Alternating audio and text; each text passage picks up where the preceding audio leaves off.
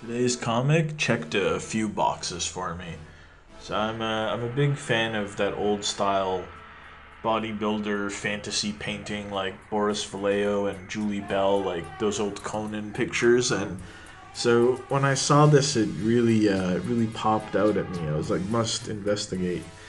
And I really like the you know the Power Babe drawings and the art quality is just uh, really incredible. And I really do like that super fantasy, like some of the wild stuff, dinosaurs and leopard centaurs, and the architecture really gets me. It's just gorgeous.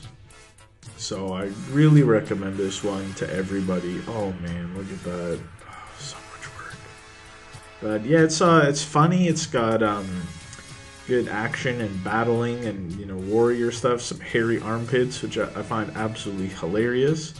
And yeah i guess the big selling point for this one for the average person would be the art. But for me it's that like battle fantasy stuff